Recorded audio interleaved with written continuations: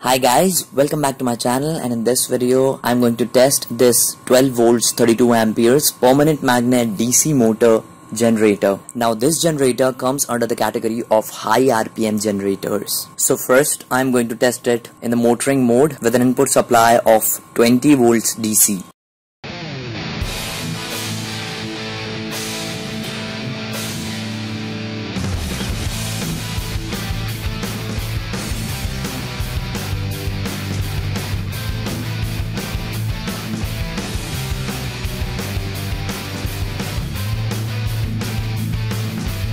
So guys, before I get on with the video, I would like to share this great news with you about PCBWay, which we all know is a Chinese PCB manufacturing company. Now the great news is the second PCB design contest that they are holding for all interested electronic engineers.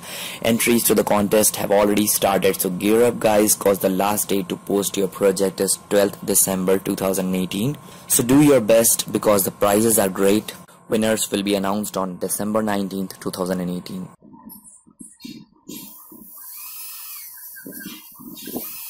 So guys, since I don't have a 12 volts DC source, I'm going to use a 20 volts supply instead. Since uh, the voltage I'm going to supply this motor is higher than the rated, so for that reason, uh, the RPM of this motor will also be higher than the rated RPM.